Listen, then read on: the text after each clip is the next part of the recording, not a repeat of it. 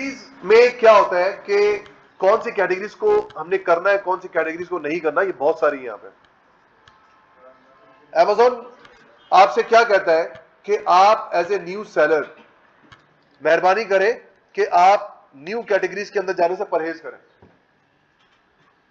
ऐसी categories as a new seller उन categories में जाने से परहेज करें जहाँ पर आपकी प्रोडक्ट से नुकसान हो जाए, बजाय वो फ़ायदा पहुँचाने के, नुकसान कर दे। मालूम हुआ कि आपने पैरासिटामोल बना के बेचना शुरू कर दिया।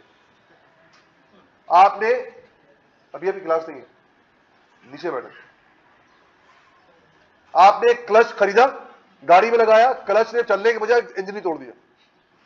इंजन प्लग लगाया आपने, प्लग ने जाके जला दिया अंदर जाके कॉइल जला दिया। ऐसी चीज़ें भाई जो नुकसान पहुँचा दे। आपने लैंप लगाया, लैंप ने जाके स्पार्क कर दिया। आग लगा दी। कोई आपने लोशन बेचा था लोशन लगाया, यहाँ पे पूरा रैश पड़ गया। तो ये क्या है? अनएक्सपीरियंस्ड जिसके पास एक्सपीरियंस नहीं है, वो सेलर काइंडली कोशिश करे कि वो इन कैटेगरीज में ना जाए। अमेजोन नए सेलर को अलाउ नहीं करता।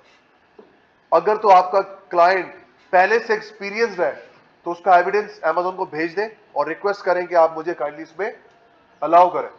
तो वो क्या करेगा अगली कैटेगरी अनगेट कर देगा। वरना तो आप इसमें नहीं बेच सकते। वो क्या क्या है? Automotive grocery baby health and household beauty products toys and games industrial and scientific और इलेक्ट्रिकल इलेक्ट्रॉनिक्स ये गेटेड कैटेगरी कहलाती है। मतलब ये बंद है दरवाजे। इसको खुलवाने के लिए अमेजोन के लिए अमेजोन से परमिशन चाहिए। और अमेजोन परमिशन के लिए क्या मांगेगा भाई?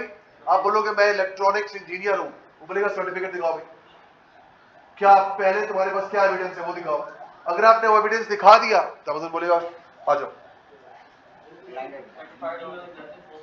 आप उस प्रोडक्ट को जब कर सकते हैं, जब आप थोड़ा एक्सपीरियंस सेलर हो जाएँगे, चाहे किसी भी कैटेगरी के अंदर अब आपको अमेजोन की नो हाउ है तो अब आप अमेजोन आपको क्या कर सकता है? अलाउ कर सकता है।